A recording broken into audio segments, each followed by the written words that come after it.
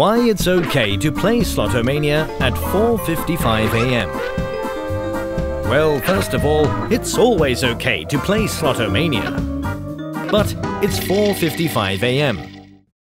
At this time, around dawn, troops in ancient times usually started attacking their enemies. For instance, in the year 455, the Vandals sacked Rome.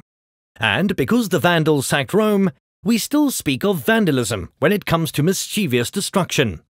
What an awful reputation for the Vandals. So why earn yourself a bad name by invading towns at dawn? You'd be better off playing a decent game of Slotomania instead.